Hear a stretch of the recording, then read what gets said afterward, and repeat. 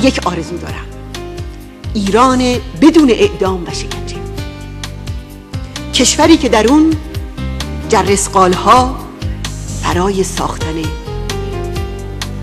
ایران آزاد و آبادی اون باشه. نه برای به دار آویختن انسان کشوری که در اون سنگسار و دست و پا بریدن به افسانه ها پیوسته باشه. و نه روزانه مردم. محاکم شهر و دادگاه های ضربتی در اون جایی نداشته باشه.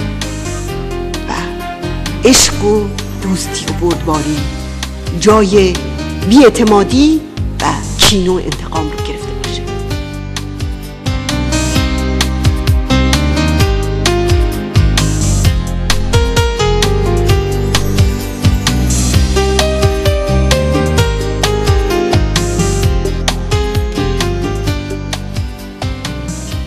یک آرزو دارم. ایران آزاد و دموکراتیک. کشوری که در اون همه مردم از حق آزادی حق زندگی و حق امنیت به طور مساوات برخوردار باشن هر کس آزاد باشه تا عقاید و خواسته رو بیان کنه. هر کس آزاد باشه که اعتراض کنه.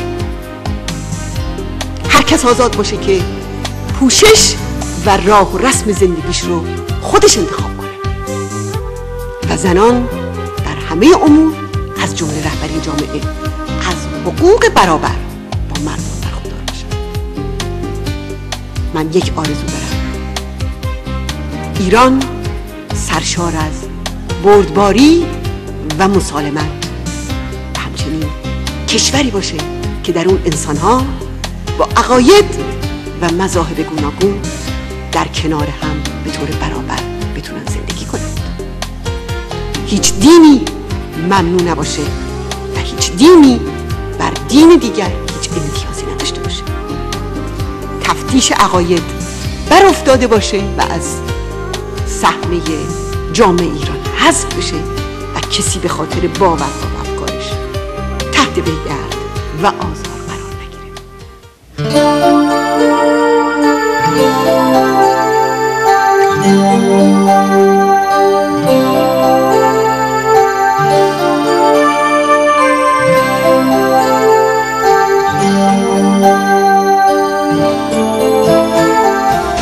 نمی‌تونه مانع طلوع آفتاب آزادی برای مردم ایران بشه و هیچ چیز نمی‌تونه مانع تحقق آزادی در ایران بشه.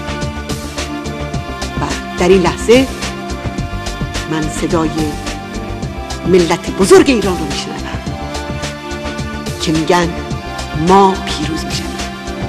میهن ما آزاد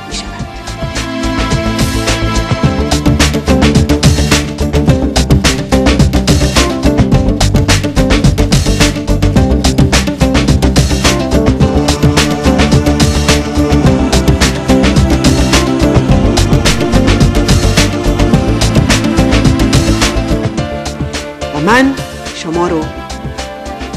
همه شما به عنوان دوستداران آزادی به همیاری با مردم و مقاومت ایران برای آزادی فرا می‌خوانم از حمایت شما پیشا پیش سپاس گذارم